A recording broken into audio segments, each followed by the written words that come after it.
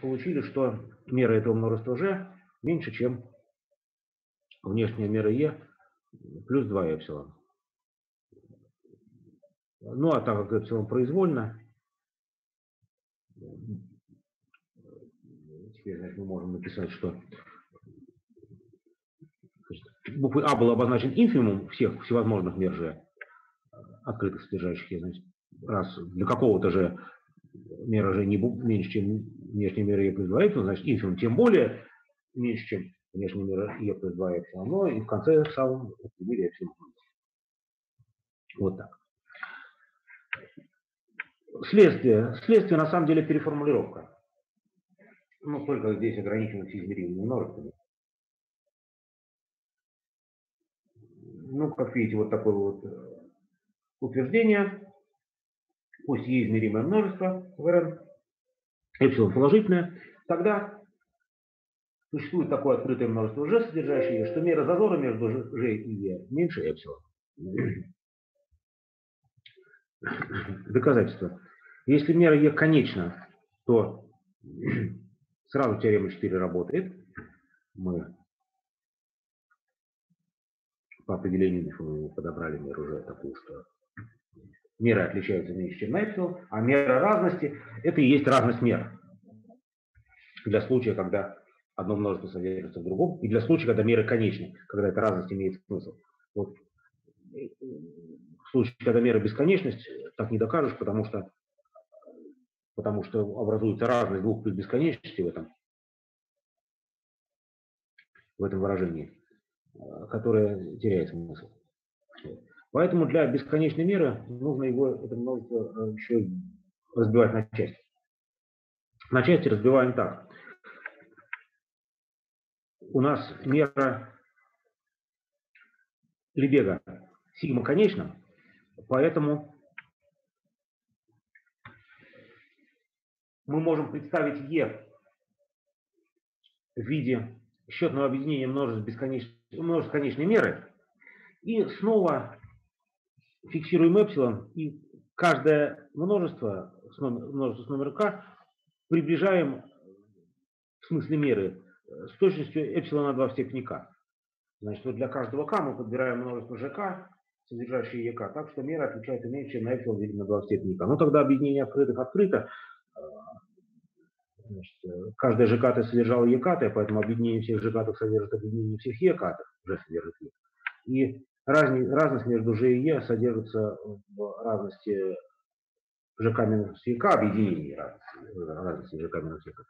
Значит, здесь действительно включение равенства, по-видимому, может не быть но оно не нужно. Вот. И поскольку здесь мера каждого слагаемого меньше эпсилона на 2 степени k, значит мера всего объединения оказывается меньше. От открытых множеств можно перейти к замкнутым.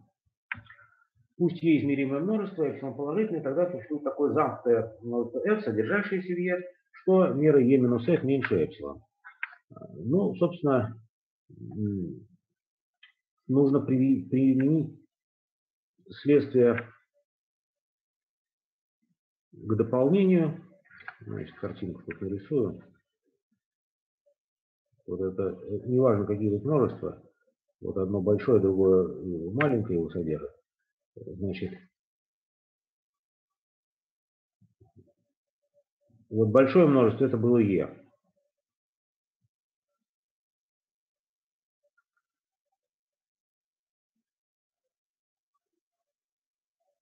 его можно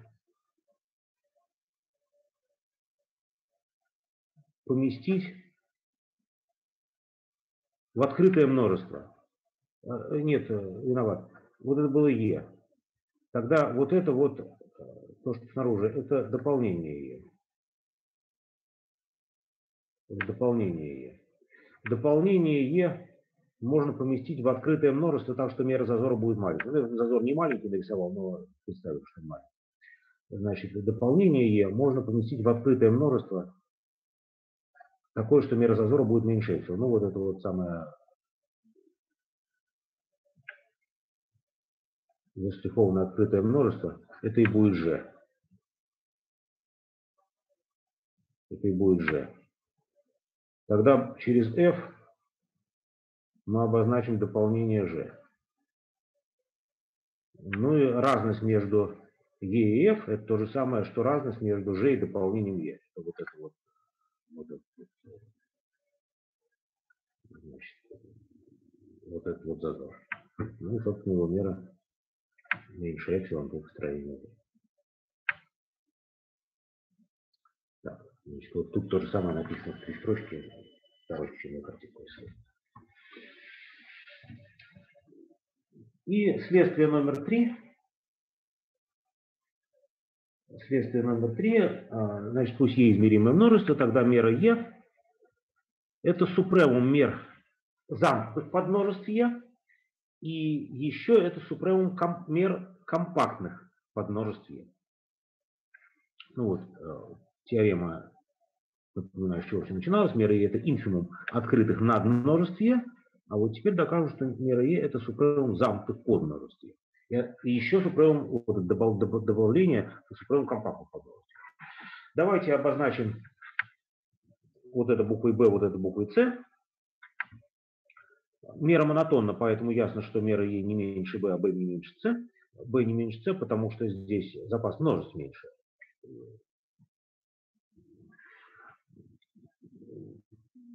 Сужение множества его не увеличивается. Значит, первое неравенство обращается в равенство по только что доказанному вот здесь любого множества Е можно подобрать под множество. Замкнутое такое, что мера зазора меньше эпсилон. И сделать это для производного эпсилон. Остается доказать, что все равно брать супремум по замкнутым или компактным множествам. Э, ну так э, компактность у нас равносильно замкнутости и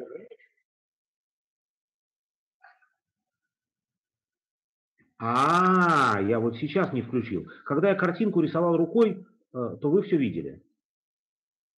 А, а я думал, что сейчас вы тоже видите. Значит, сейчас, сейчас, секундочку. Где у меня этот экранчик? Вот он, в видео. Да, прошу прощения, я... Экран, экран, собственно, конференции-то у меня маленький свернулся, и я его, когда демонстрация экрана была, я его не видел, мне казалось, что я его показал. Так. Видно, ладно. Сейчас минутку я... Ну ладно, видно так видно. Вот. Итого начал я комментировать следствие 3, а следствие 2 мы доказали. Значит, нужно доказать, что мера Е – это супремум всевозможных замкнутых подмножеств, мер всевозможных замкнутых подмножеств Е, и он же супремум мер всевозможных компактных подмножеств. Обозначили первый из этих супремумов B, второй С. Из монотонности меры ясно, что мера Е не меньше B, ну, потому что здесь все множества f, которые рассматривают, содержатся в и ясно, что b не меньше c, потому что здесь, э, когда переходим к компактным множествам, мы уменьшаем всю совокупность множества, которое берем с супремом. Супремом при этом не увеличиваем. Первое, равенство, первое неравенство на самом деле равенство по следствию предыдущего. Мы любое множество с любой точностью можем изнутри приблизить завтра, любое измеримое. Осталось доказать, что все равно брать супремум по замкнутым или по компактным множествам. То есть вот здесь вот противоположное неравенство b не больше c. Я напоминаю, что компактность равносильно одновременной замкнутости и ограниченности. Ну так вот, пусть у нас множество e замкнуто, содержит, э, множество f замкнуто содержится в e, мы его будем пересекать замкнутым кубом от минус p на жирную единицу до p на жирную. Тогда вот эти множества f и пересечения будут компактные, они будут расширяться, и f будет равно объединению всех f. Ну потому что объединение всех кубов дает все r по непрерывности меры, мера f это предел меры в пэтах,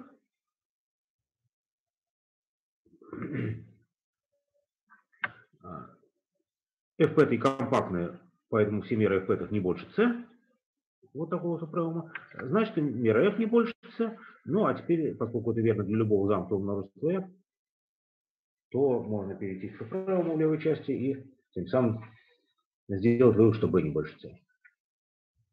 Так что замкнутое множество можно в смысле меры приблизить с любой точки компактной. Ну вот это свойство меры Лебега, которое доказано в теореме и ее следствиях, называется регулярностью. Более подробно регулярностью называется вот что. Это свойство меры относится не только к Лебеговой мере. Пусть x метрическое пространство, мера μ задана на сигма-алгебре а фигурная, содержащей все открытые подмножества x. Мера называется регулярной, действует для любого измеримого множества e. Мера e равняется инфимуму мер всех открытых над множестве и равняется супремуму мер всех замкнутых под множестве. Так что вот теорема сама нам говорит, что говорит про первое равенство, а следствие 3 про второе равенство, и тем самым, и тем самым мера Левега оказывается регулярной. Регулярность – это свойство, которое связывает две структуры на множестве x. Меру и топологию. Ну или меру и метрику. Мера множества у нас никак не была связана с открытостью, замкнутостью, с пределами, непрерывностью, всеми прочими вещами, за которые отвечала метрика в метрическом. А вот свойство регулярности задает такую связь. Конечно, не все меры такие. Считающая мера никакого отношения к открытым замкнутым множествам вообще не имеет. Количество элементов множества. Но мера Лебега имеет. Вот такая мера называется регулярной. Давайте еще такое определение дадим. Как вы видите, здесь для того, чтобы говорить о регулярности меры, мера обязана быть задана на сигма алгебры, содержащей все открытые множества. Ну и тем самым эта сигма алгебра содержит барелевскую сигма алгебру. Давайте дадим такое определение. Мера называется барелевской, если она задана на барелевской сигма алгебре. Таким образом, вот сужение меры Лебега на барелевскую сигма алгебру является барелевской сама мера Лебега задана на больше сигнал. Ну вот здесь мера должна быть задана хотя бы на барыльский сигнал. Значит, вопрос о том, имеет ли место вот это равенство, второе равенство в цепочке между вот этим инфимумом и супремумом в общем виде, я обсуждать не хочу. Я обсуждать не хочу, а, частично имеет. Частично имеет. Значит, вот это вот свойство называется, вот, вот это свойство, что первое равенство, называется внешней регулярностью. Множество Е мы приближаем извне. А вот свойство, что мера Е равняется вот этому супремуму, мера всех замков по множеству, называется внутренней регулярностью. Ну а вот это вот с компактами, это еще добавка, более, свойство более сильное, чем внутренняя регулярность. Это тоже, она бывает не всегда, из внутренней регулярности не следует. Бывает такое, что вот это есть, а вот этого нет. Что компактов мало. Но эти случаи я тоже обсуждать не хочу. Регулярность довольно, довольно частое свойство. Например, есть такая теорема, что конечная барелевская мера на метрическом пространстве обязательно регулярна. к мере Лебега это не относится, а сигма, конечно, даже если шутить на барвистскую сигму. Но вот такое свойство есть. Конечная барвистская мера на метрическом пространстве обязана быть регулярной.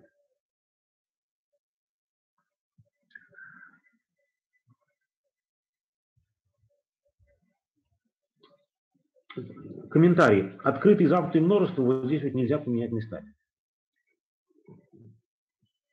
именно открытыми нужно приближать снаружи, а замкнутыми нужно приближать изнутри.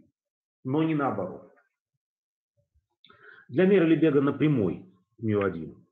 Вот мы рассмотрим множество и1 всех рациональных чисел из отрезка 0,1. Тогда его замыкание – это весь отрезок 0,1. мера множества рациональных чисел равна нулю, а мера наименьшего замкнутого множества, содержащего наше, равна единице. Поэтому вот здесь открытые множество вымышленное нельзя заменить на замкнутые. Ну и аналогично, если рассматривать иррациональные числа, то мера множества иррациональных чисел в отрезке 0,1 равна единице, а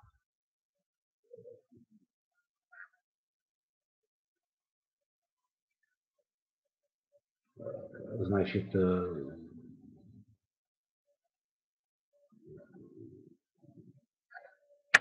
открытое множество, которое туда можно поместить, это только пустое множество. Множество не содержит ни одного интервала.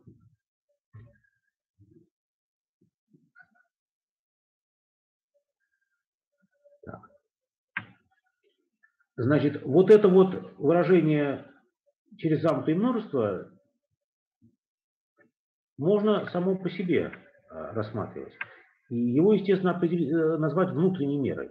Если вот это мы назвали, точнее, не назвали, но доказали, что равняется внешней мерой, в исходном определении внешней меры использовал покрытие ячейками, но мы доказали теорему о том, что, то, то, что с чего сегодня начали, доказали теорему о том, что внешняя мера любого множества равна э, вот такому фактории множества. Так вот, можно рассмотреть произвольное множество e, не обязательно измеримое, и определить таким образом его внутреннюю меру, как супремум мер всех его замкнутых подмножеств. Поскольку мера Лебега регулярна, измеримость e влечет равенство внешней и внутренней меры.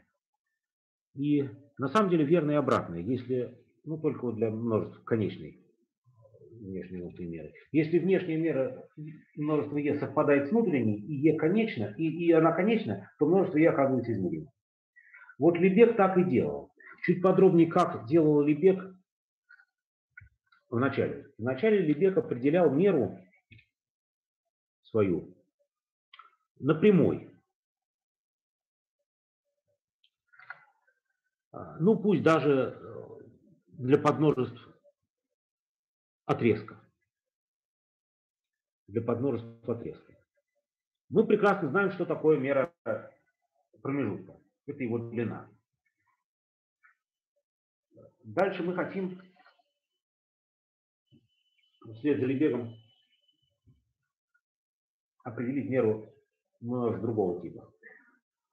Вот есть э, такая теорема, что всякое открытое подмножество прямой представляется в виде не более чем счетного объединения дизъюнктных интервалов открытых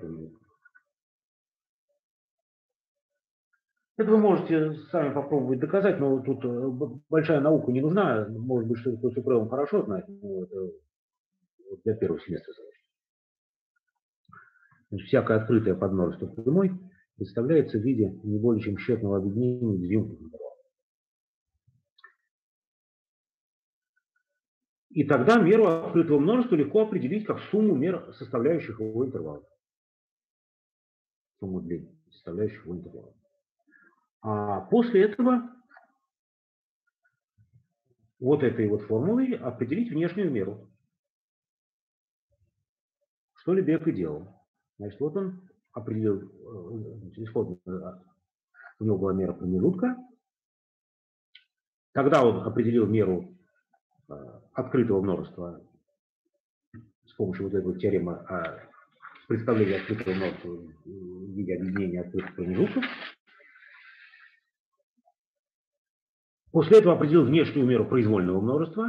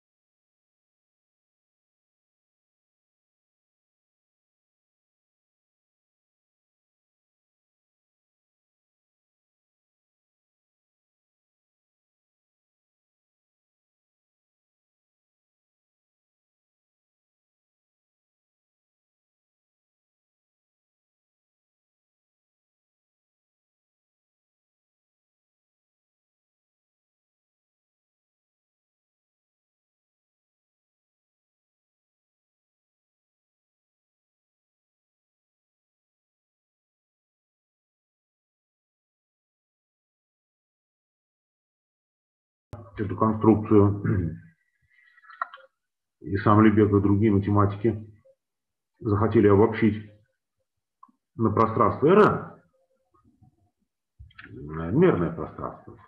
И там вот нету этой хорошей теоремы с представлением открытого множества в виде объединения промежутков. Там не очень удобно этот шаг делать, определять меру открытого множества.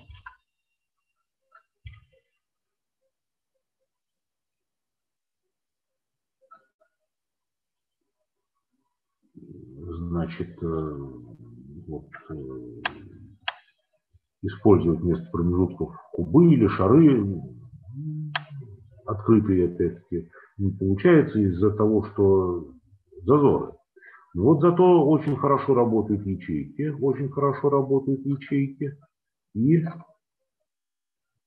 эта конструкция тоже проходит, если использовать ячейки. Теорема о том, что открытое множество представляется в виде счетного объединения ячеек, очень оказывается удобно. Ну, а потом уже Картеодоре эту конструкцию э, обобщил на абстрактную ситуацию, что я вам рассказывал. Ячейки или промежутки, это полукольцо, вот какие-то выяснили, что какие-то операции с ними можно делать. А, и значит, покрывать и брать инфимум по всем покрытиям. Конструкция, она приводит это разумному, это, это, это, это, это внешняя мера, которая была вот Лебедем построена в частном случае. И потом вот внешняя мера нужно сюда.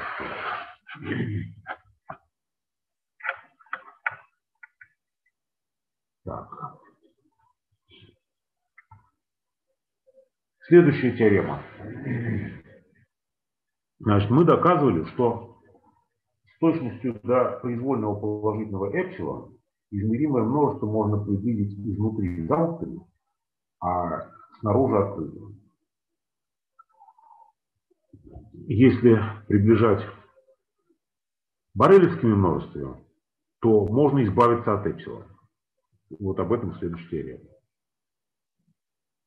Итак, пусть Е измеримое множество тогда существуют такие множества h типа f сигма и k типа g дельта, что e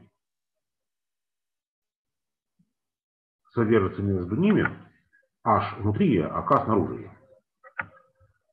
И мера зазора между h равна нулю.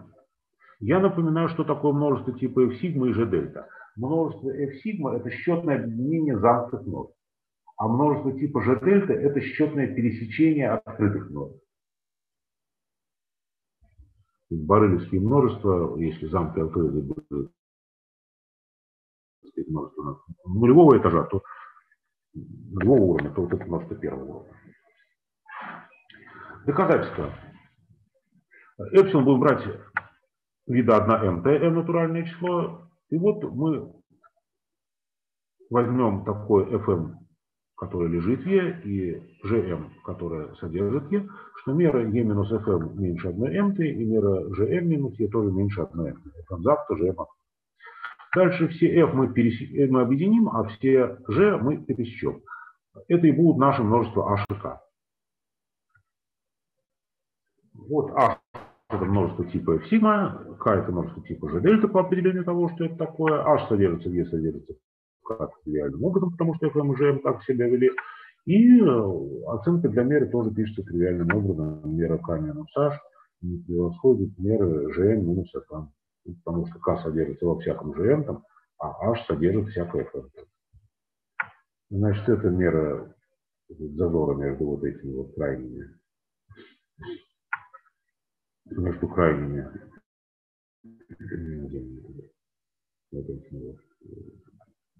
Представили по объединению двух зазоров, и это каждый из них меньше Значит, сумма меньше 2 делить на m.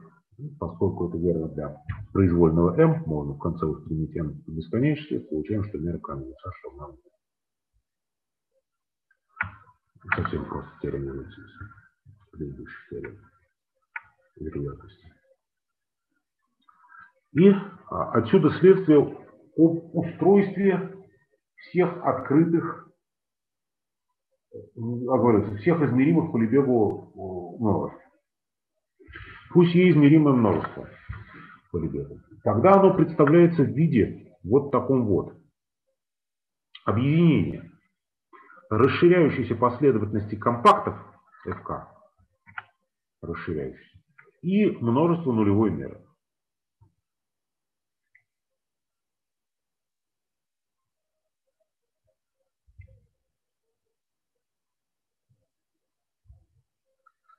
То есть, в частности, насколько друг от друга отличаются барелевская или беговская сигма-алгебры. А отличаются они друг от друга вот на эту добавочку Е мало.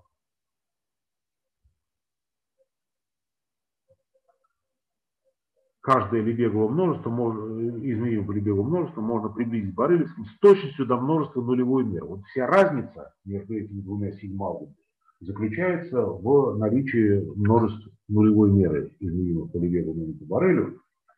Ну и их, конечно, можно добавлять к Барелевским множеством.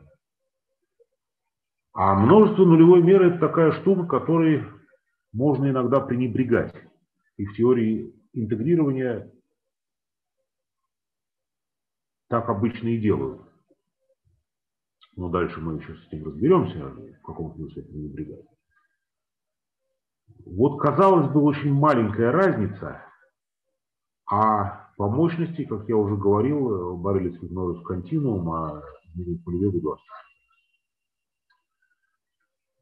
Ну, а, собственно, барелевское множество, о котором здесь идет речь, можно взять вот такого вида, но не просто, значит, типа F сигма, а еще и вместо замков можно, можно объединять компакты и даже добиться, чтобы это, эти компакты были вот так вложены в следующий слежал предыдущий. Ну, доказательства. H и K взяли из предыдущей теоремы, и буквой Е малой обозначили разность между Е большим и H. Когда Е малое содержится в К минус H, откуда его мера равна нулю. Мера Лебега полна. Хотя даже полнота здесь не нужна. У нас все множества измеримые. И Е, и H, и К. Мера этого, ну, просто по монотонности мера. мера ну, даже если не знали измеримость вот это, все равно Значит, раз Е малое – это разность между Е большим и H, то Е большое представляется в виде объединения H и Е малого, а H – это множество типа F сигма, оно вот объединение замкнутых множеств FK. Ну а теперь нужно замкнутые представлять в виде объединения компактов. Значит, каждая FK представляется в виде счетного объединения компактов, пересекаем замкнутыми кубами. Следовательно, и H в таком же виде представляется счетное объединение замкнутых является счетным объединением компактов. Ну, эти компакты, получается, двойная индексация. Можно занумеровать одним индексом, что я и сделал. Каждый это компакт. Все получено, кроме вот этой вот вложенности. Ее еще надо добиться. Чтобы ее добиться, можно вот в этом объединении заменить множество на такие – кажи с волной положить равным объединению первых же штук каидов. Ну тогда вложенность будет, а объединение не поменяется. Объединение не поменяется. Поэтому, поэтому следствие доказано. Если у нас есть. Да, и компактность, разумеется, тоже не пропадет потому что в РН компактности это замкнутость и ограниченность, конечное объединение замкнутых замкнуто, и конечное объединение ограниченных ограниченных. Так что раз каиты были компактными, то и э, каждый с волной тоже будут компактными. Компактны при этой операции.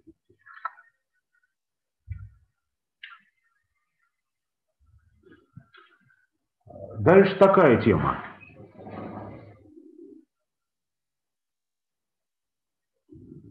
Значит, мы ну, кое-чего научились меру считать. Так, не чтобы не, не очень-то научились, правда, но по крайней мере, выяснили измеримость барелевских ну, множеств, выяснили, как устроены, как устроены все измеримые по Лебегу множества. Вот это такое множество, ну, которое более или менее обозримо, что такое, что такое последовательность, э, расширяющаяся последовательность компактов, это более-менее обозримо и множество нулевой меры, которые мы не представляем, как устроено, и не представим никак более понятно, как оно устроено. Вся, сам, самый, самый произвол в этом Ямалом здесь. Их очень много, множество нулевой меры.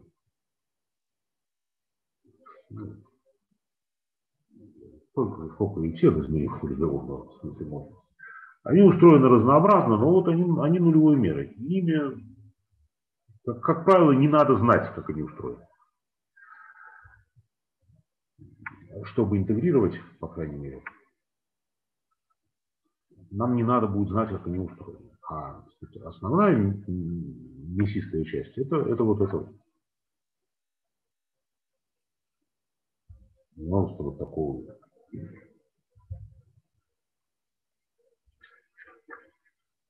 Вот. А следующая тема. Как устроена мера при отображениях. Вот у нас было множество Е. Оно было измеримо. Мы на него подействовали каким-то отображением фи. Ну, множество Е как там деформировалось, разорвалось, э, что-то с ним произошло. Спрашивается, образ будет измерим или нет, раз. И второе, как меру образа выразить, если известна была мера исходного множества. Мы сейчас ответим на этот вопрос, на, значит, ответим на этот вопрос следующим образом. Во-первых, мы докажем, что если φ было гладким отображением, то есть отображением класса C1, то измеримость сохранится. А во-вторых, мы получим ответ в точности выражения для меры, если фи линейное отображение. А полный ответ на вопрос вот в этой ситуации для гладкого отображения мы получим, ну, для гладкого отображения, на самом деле, для дифеоморфизма, чтобы еще и обратное было гладкое. Мы получим уже в терминах интеграла. Тогда, когда в самом конце семестра, я думаю, это будет. Тогда, когда все свойства интеграла будут можно установлены. Так. Короткий перерыв. Подключаемся тут же. Ага, вот пятеро нас Сохранение измеримости при главном отображении.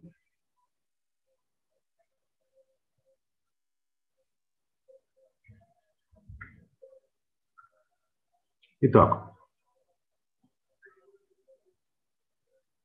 Пусть множество g открыто в Rn, и отображение φ гладкое. Действует из Rn. Гладкое значит класс C1. Непрерывно дифференцированное. Тогда выполняются два утверждения. Первое. Образ любого множества нулевой меры, ну, множество о которых образ берется, разумеется, под множество Ж большого. Первое утверждение. Множество нулевой меры переходит в множество нулевой меры. Ну вот подробно здесь написано так. Если Е малое под множество Ж, мера Е малого равна нулю, то фи от Е малого измеримо, и мера фи от Е малого равна нулю. Множество нулевой меры переходит при действии фи множество нулевой меры. И второе. Измеримые множества переходят в измеримые. Почему теорема так называется? Сохранение измеримости при гладком отображении. Вот есть два свойства. Сохранение измеримости и второе. Измеримые множества переходят в измеримые, а множество нулевой меры переходит в множество нулевой меры. И на самом деле Второе автоматически следует из первого. Я это в конце доказательства покажу и чуть-чуть подробнее обсужу вот сам, сам, сам этот факт, что второй следует из первого. А докажу первое. Вот ситуация такая, что если мы разберемся, что происходит с множеством нулевой меры, то мы разберемся и с общей ситуацией. Это противоречит тому, что я говорил 10 минут назад, что множество нулевой меры можно пренебрегать. Ну вот в интегрировании можно пренебрегать, а здесь как раз в них вся неприятность и вся неприятность и содержится, которая может содержаться.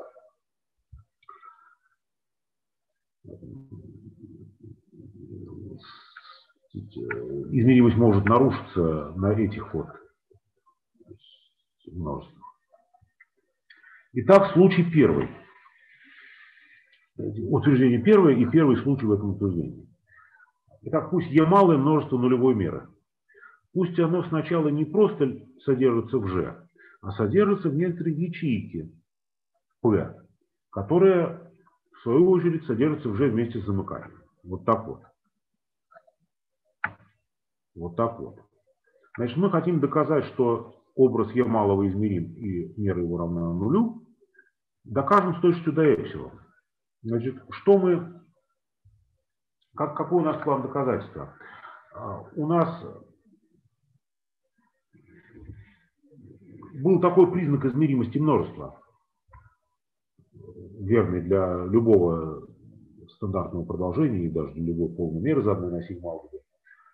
Если множество, в данном случае e малое, можно заключить в измеримое множество сколь угодно малой меры, то оно само окажется измеримым, его мера будет равна нулю. Вот мы возьмем, зафиксируем эпсилон и попытаемся заключить множество е малое, множество не е малое, а образ его, фи от е малого, измеримость чего нам надо доказывать. Множество меры ну, допустим, меньше эпсилон. Или хотя бы меньше там константу умножить на эпсилон.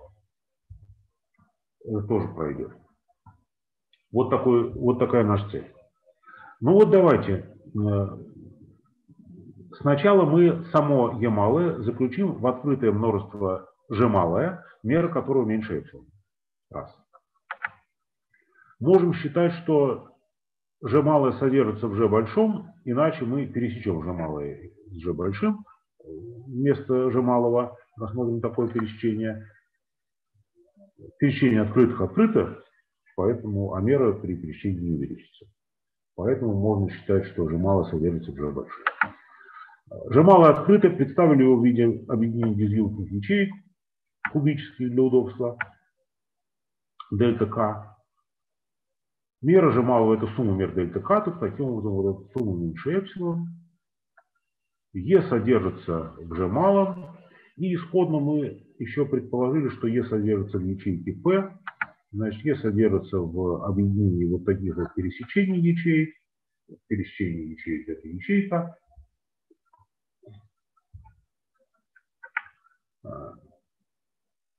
Образ Е тогда содержится в объединении образов вот этих вот пересечений. И нам, почему нам стало от этого легче? Мы хотели понять, что произойдет с множеством Е малое при действии фи. А мы теперь свели ситуацию чуть более простой. Нам достаточно понять, что произойдет с ячейкой при действии фи. И более того, вот достаточно понять, что произойдет с кубиком дельта К. Ну, хотя бы с кубиком, тогда из произвольной ячейки. Вот. Вот будем разбираться, что происходит, с ячейкой при действии. Ну, вот тут небольшая техническая оценка. Через HK обозначили ребро ячейки дельта К. тогда, значит, как нам известно, любые две точки ячейки отличаются друг от друга не больше, чем на диагональ. Диагональ равна hk умножить на корень из n. Отображение φ у нас класс C1. Поэтому оно локально Липшцево. Оно локально в том смысле, что удовлетворяет условия Липшца на любом компакте. И вот в качестве этого компакта мы возьмем P с чертой. Значит, вот что такое условие Липшца. Фиат x минус фиат y по норме не больше, чем L на x минус y по норме. Это верно для всех x и y из компакта то есть чертой с некоторой константой Поэтому, если мы будем брать точки x и y не просто из P чертой, а еще и из ячейки дельта k, то расстояние между ними тогда не больше вот такого, и поэтому расстояние между образами не больше, чем вот такого. L на корень d на h. Тем более это верно для координатных функций отображения φ. Ну, раз длина вектора не больше какого-то числа, то по каждой координате длина, длина каждой координаты вектора, каждой проекции не больше того же числа. Теперь пусть у нас x фиксировано, все отсюда же. И тогда для любого y, значит, вот я переписал это неравенство в виде такого. Фиат y, значит, отличается от фиат x не больше, чем вот на это. Значит, все равно, что сказать, что фиат y принадлежит вот такому кубу с центром в точке фиат x и радиуса Э, точнее не радиуса, а ребра с ребром равным L на корень из n на hk, ну, умножить еще на. Я сказал, по каждой координате есть. Этот куб обозначили пика. Ну и записали в виде вот такого включения. Образ k пересечь с содержится в пика. Следовательно, фи от e содержится в объединении кубов пикатых.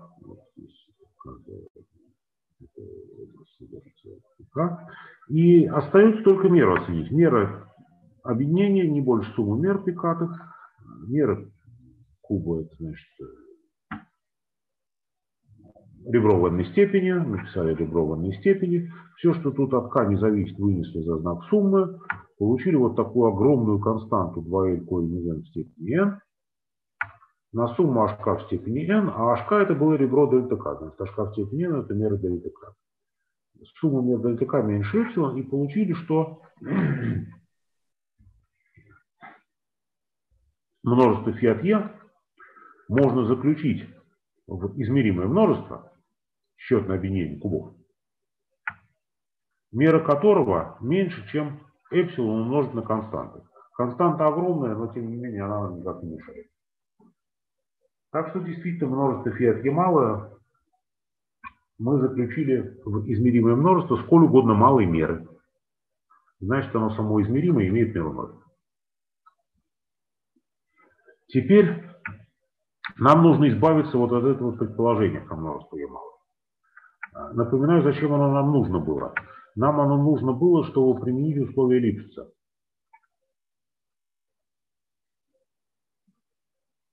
Условие Липса у нас было в прошлом семестре, когда я говорил про формулу Лагранжа в многомерном случае. Вот тогда это свойство и доказывалось, что гладкое отображение локальной липса. Ну, константа или большое здесь это максимум нормы производного оператора на компакте. Компактного. Только локальность. Только локальный рипс, глобальный, глобальный это может и не быть.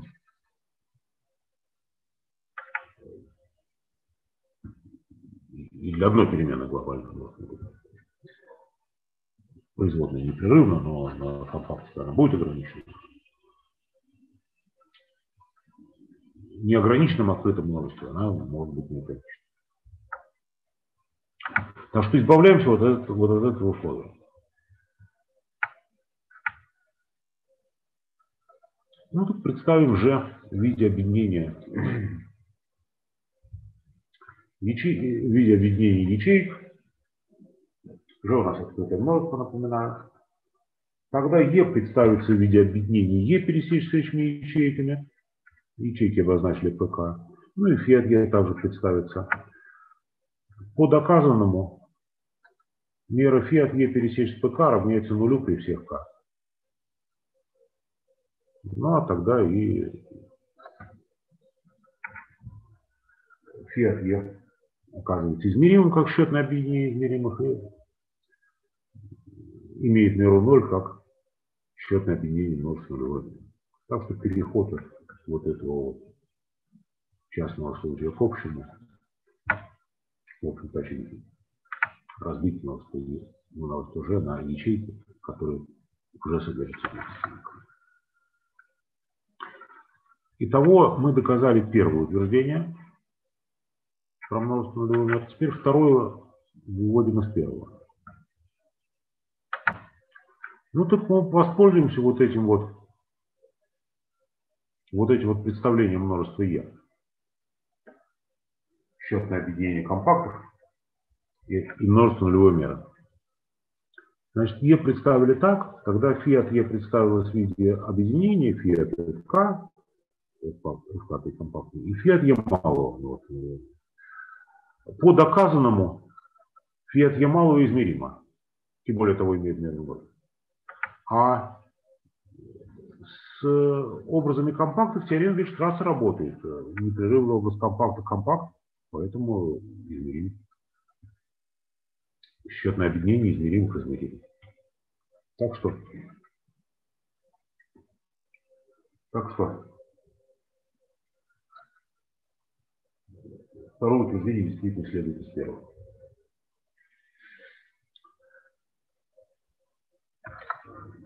Ну и вот я здесь такое же замечание сделал, доказал теорему для гладкого отображения, но на самом деле гладкостью мы в полном объеме не пользовались, а пользовались только вот этим вот э, следствием гладкости, локальной липсовости фи.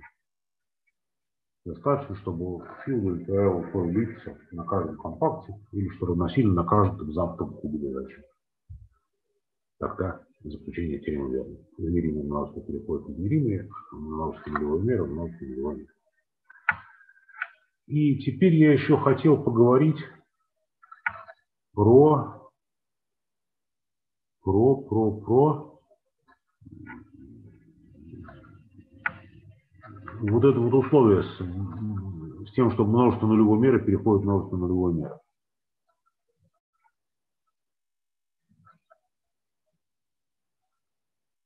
Это свойство имеет специальное название. И оказывается, оно оказывается важным, так что, так что получило специальное название. Оно называется n-свойством Лузина или нуль-свойством Лузина. Вот такое определение. Пусть отображение φ задано на подмножестве d пространства Rn действует в Rn.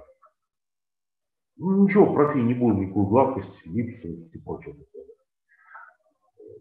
Задано на некотором подмножестве пространства Говорят, что отображение фи обладает n свойством Лузина, если, если вот первое утверждение теоремы. Из того, что e содержится в d и мера e равна нулю, следует, что образ e измерим и имеет меру 0. Так, здесь, по-видимому, опечатка, это фи от e малого должно так вот, лемма 3 штрих. n-свойство Лузина из сохранения измеримости. Оказывается, что n-свойство Лузина просто равносильно свойству переводить измеримые множества в измеримые. Итак, для, правда, здесь я добавочку сделал, равносильно для непрерывных отображений. Итак, пусть фи непрерывное отображение. Тогда следующее утверждение равносильно. Первое. Фи переводит измеримое множество в неизмеримое. И второе. Фи обладает n свойством Вот эта вот импликация из 2 в 1 у нас доказана, собственно, в доказательстве теоремы.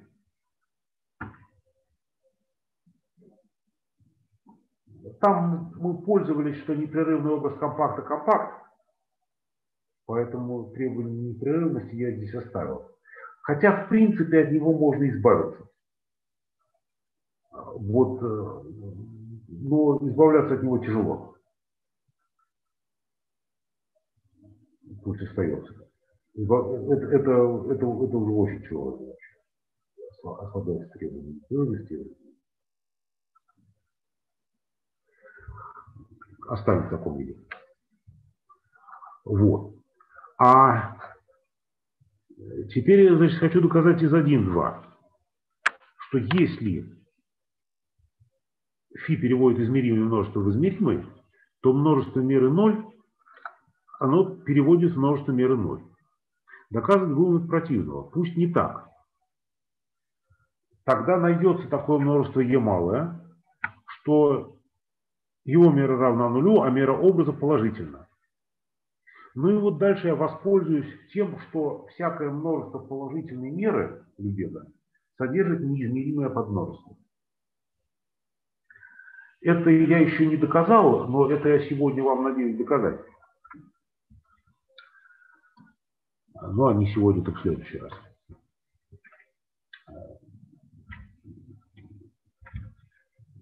Неизмеримые подмножества бывают. И более того, всякое множество нулевой меры, ну, всякое множество положительной меры содержит неизмеримое подмножество. Под множеством множества нулевой меры, так все измеримые имеют 0,0 по полноте меры. А вот у подмножества положительной меры неизмеримое подмножество есть. Итак, обозначим это неизмеримое подмножество, множество фи от e малого, через e большое с ноликом и через Ямалы с ноликом обозначим его прообраз. Прообраз берется тот, та часть прообраза, которая в Ямалом сидит. Поэтому я еще перечек все. Тогда множество Ямалое с ноликом измеримо по полноте миролюбия. Это подмножество Ямалого. Ну и, разумеется, его мера равна нулю. А его образ фи от Е малого с ноликом, это Е большое с ноликом, оно неизмеримо. Ну и вот мы получили противоречие с первым свойством, что фи переводит измеримое множество в измеримое. Вот так. Если, если некоторое множество нулевой меры перешло в множество положительной меры, то некоторое его подмножество перешло в неизмеримое, в неизмеримое множество. В неизмеримое подмножество этого множества положительной меры. Так что это вот э, значит, иллюстрация к моим словам, что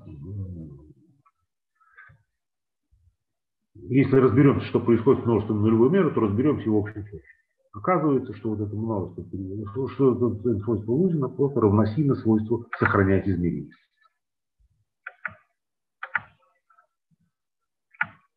Так.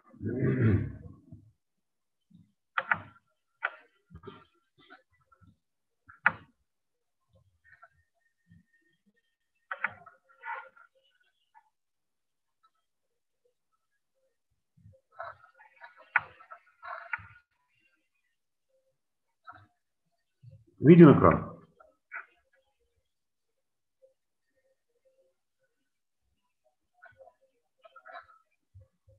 Ответьте, кто-нибудь виден сейчас экран или нет?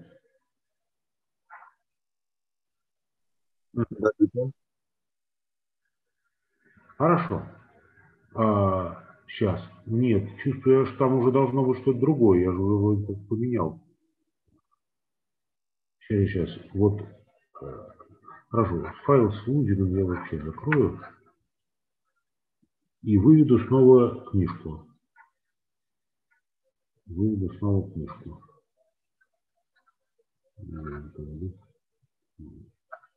Вот, вот, вот должна быть, должна быть, э, Должна быть сейчас лента на вашем экране.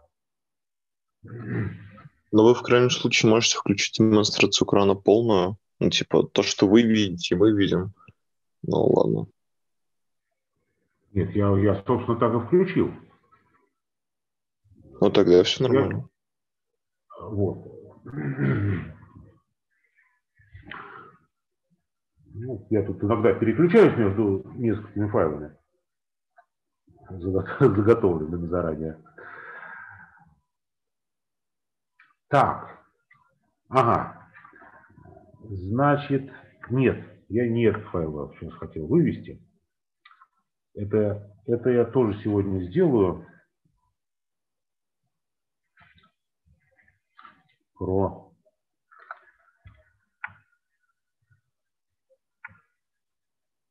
Давайте я вам другой файл выведу сейчас.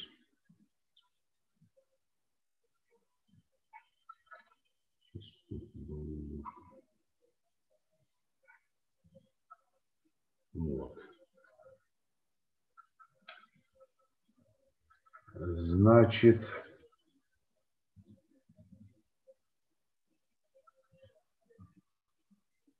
надо сказать, что такое кантрово множество.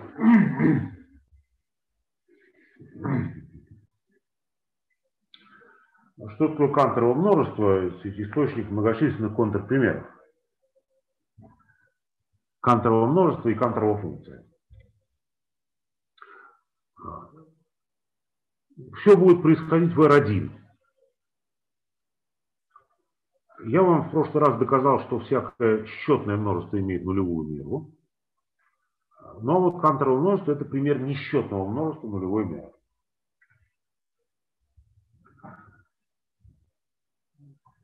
Все будет происходить на отрезке 0,1. Вот мы удаляем из него среднюю треть. Удалять будем открытые промежутки. Удалим среднюю треть. Интервал от 1 трети до 2 третей.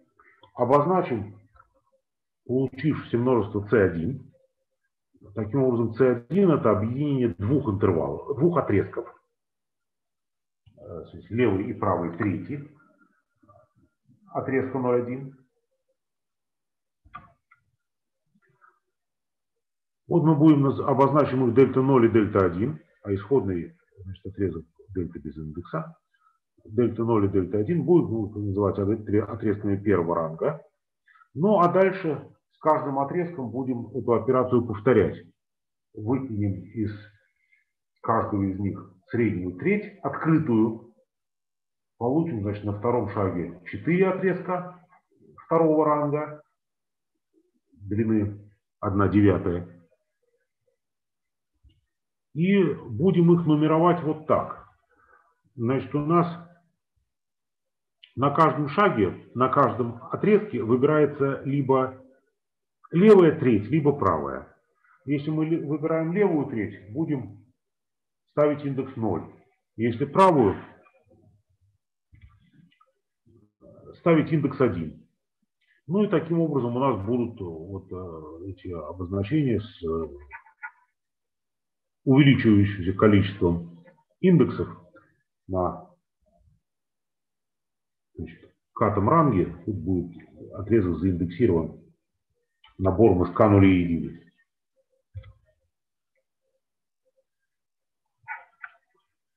который я буду обозначать эпсилон с индексом.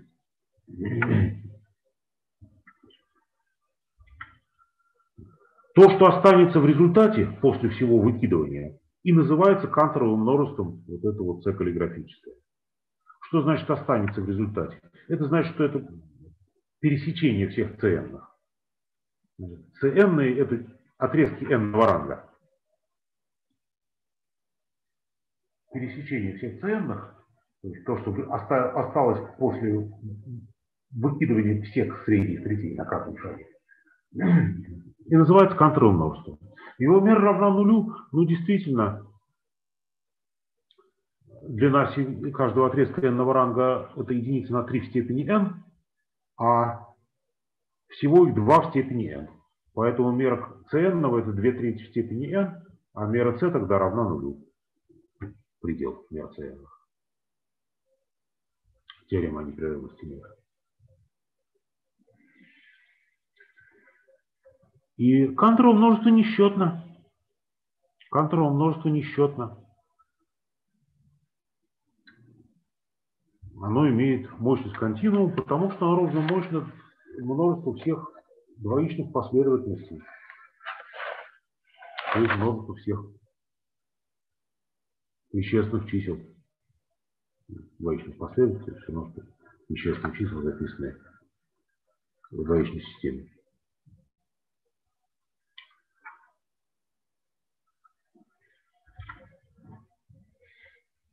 Значит, доказательство этой равномощности. Ну, собственно, вот двоичные последовательности, понятно, где здесь возникали при индексации отрезков. Возьмем двоичную последовательность, обозначу буквы эпсилон и, и члена эпсилон n. Эпсилон равно нулю или единице. Рассмотрим последовательность всех вот этих вот отрезков. Дельта с индексами эпсилон от 1 до n. От, поскольку отрезки вложены, их последовательность имеет не пустое пересечение. И оно состоит из единственной точки, стягивающейся отрезки. Обозначили точку буквой Т. Т зависит от эпсилона. Для различных последовательностей эпсилон и эпсилон штрих точки различны. Но действительно, вот если есть две различные последовательности, обозначим буквой К первый номер, при котором члены этих последовательностей не совпадают, вот написано, что это такое, и тогда Т от эпсилон попала в, на, на катом шаге в одну половинку, в, в одну треть отрезка К минус первого, а Т от эпсилон штрих в противоположную треть. Поэтому они не совпали. Поэтому они не совпали. То есть это вот отображение, которое эпсилон совпадает с Т от эпсилон, инъективно. Ну, а с другой стороны, каждая точка из канторового множества, канторового множества нас определяла как пересечение принадлежит некоторой последовательности отрезков, это отображение сюрреактивно. Так что действительно канторовое множество оказалось несчетным. Канторовое множество оказалось несчетным. Теперь я хочу привести пример непрерывного отображения, которое не сохраняет измеримость. Непрерывного отображения, которое не сохраняет измеримость. Мне для этого достаточно проверить, достаточно построить непрерывное отображение, которое не обладает n-свойством Лузина. Я доказал только что, что значит, сохранение измеримости равносильно свойству Лузина. Так вот, я хочу построить непрерывное отображение без свойства Лузина. И даже гомеоморфизм построен. Напоминаю, гомеоморфизм – это отображение, которое непрерывно, объективно и обратно только туда. Вот гомеоморфизм может не сохранять измеримость. Гладкое отображение сохраняет измеримость, как я доказал. И даже локальный липсовое отображение сохраняет измеримость. А вот непрерывности мало. Непрерывности мало. Это может быть неожиданно. Мы все-таки привыкли, что непрерывные функции хорошие. Они там кучу полезных свойств сохраняют. Связанность сохраняют, связанность сохраняют, компактность сохраняют. А вот тут оказывается, что измеримость они сохранять не обязаны. Контрпример дает Канторова функция. Сейчас я найду Канторову функцию. Вот, да, вот ее график.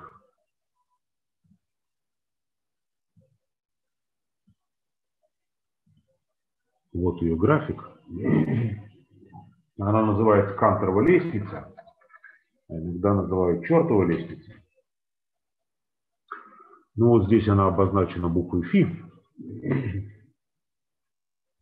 Давайте, значит, я расскажу, как она строится. Во-первых, мы полагаем фи от нуля равно нулю, вот здесь видите, жирная точка стоит, и фи от единицы равно единице. Определяем мы ее на отрезке 0,1. Полагаем фи от нуля равно нулю, фи от единицы равно единице. А дальше делаем так. Вот на средней трети, которую мы удаляем из отрезка 0,1 при постоянии квадратного множества, мы полагаем фи равное 1 второй. Полагаем, при том даже на отрезке. Мы удаляли, когда строили квадратное множество, открытые промежутки, а здесь мы еще концы добавили и положили там фи равный 1 второй. Ну, дальше вот здесь на удаленной трети положили 1 четвертой, а здесь 3 четвертях. И так далее на, каждой, на той трети, на той трети, которая удаляется на следующем шаге, мы положим фи равную среднему арифметическому того, что уже построено на соседних третях.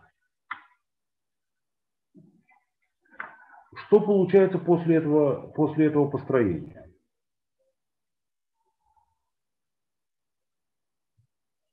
после этого построения еще фи определена не полностью на отрезке 0,1. Где она будет определена? Она будет определена на дополнении канторового множества, ну вот на этих средних третях, в дополнении канторового множества она определена. И еще определена на концах удаляемых интервалов.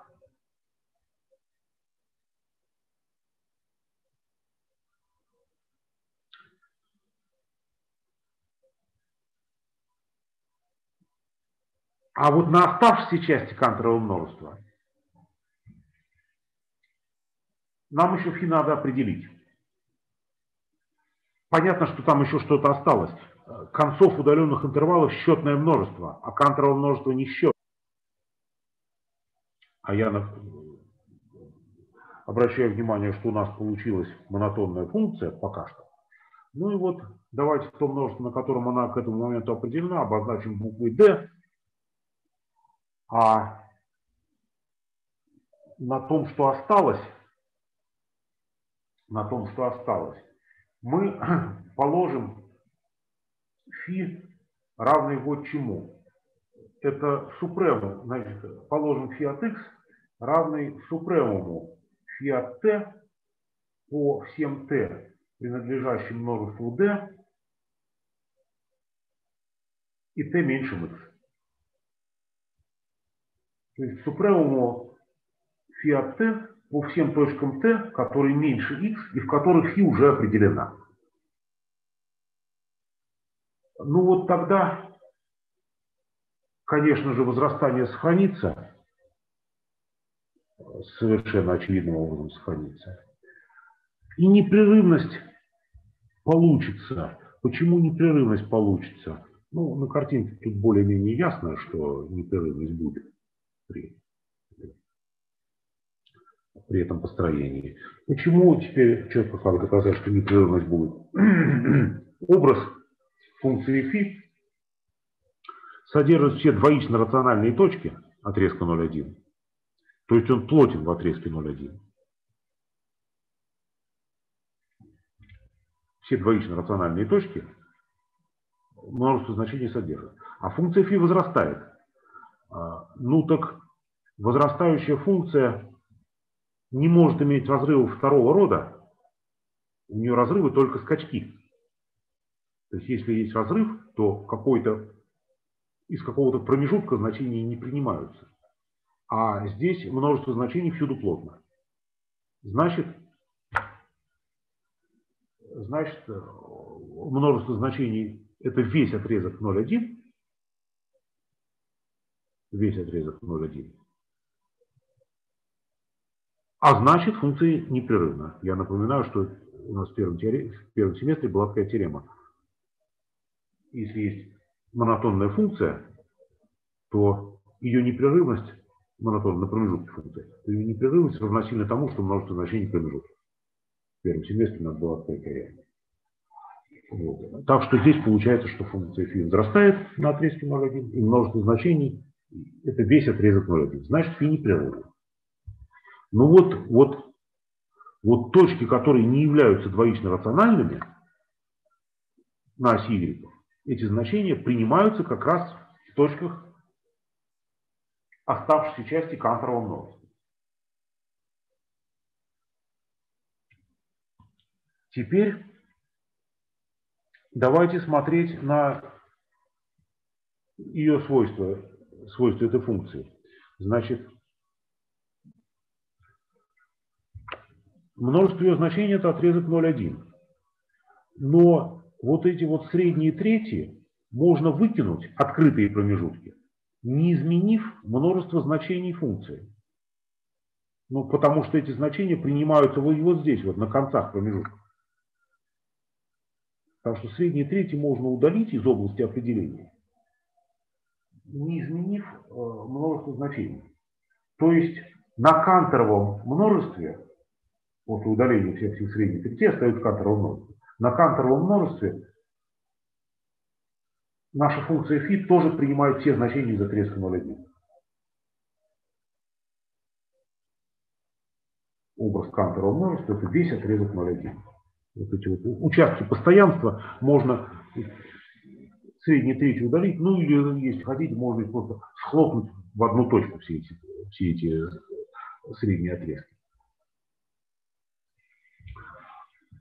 У нас останется канторовое множество и останется то же самое множество значений отрезок 0,1. Ну вот отсюда и получается, что нету n-свойства Лузина. n-свойства Лузина нет у нас Канторово множество было нулевой меры, а образ получается отрезок 0,1 множество положительной меры. Значит, в этом самом Канторовом множестве есть подмножество, которое переходит в неизмеримое подмножество отрезка 0,1.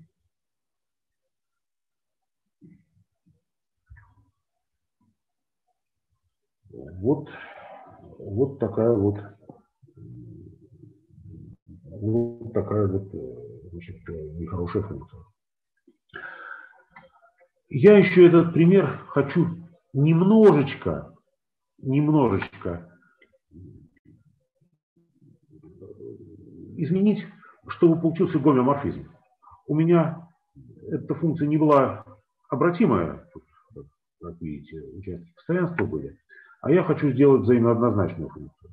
Так для этого я добавлю к ней x. Вот я а, определю новую функцию g от x равную x плюс phi от x. Ну тогда g будет строго возрастать. И будет непрерывно, как сумма двух непрерывных. Отрезок 0,1 перейдет в отрезок 0,2. g от нуля будет равно нулю, а g от единицы будет равно 2. Так что это гомеоморфизм строго возрастающая непрерывная функция. Ну и он по-прежнему не обладает n-свойством Лузина. Что такое мера образа дополнения канторового множества? Вот эти вот, каждый, каждый из вот этих третей отрезочков при отображении g переходит в отрезок той же длины g от x это φ от x плюс x. x добавляется, а φ не добавляет никакого превращения. Так что каждый из вот этих третей переходит в отрезок той же длины. Сумма длин всех этих третей – это единица, длина в мер дополнения канторового множества. Поэтому дополнение канторового множества переходит в множество меры 1. А тогда и канторовое множество переходит в множество меры 1 потому что весь отрезок 0,1 переходит в отрезок 0,2, меры 2.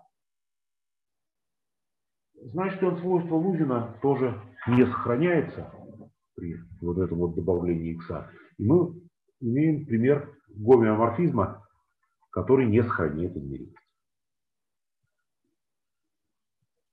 Так.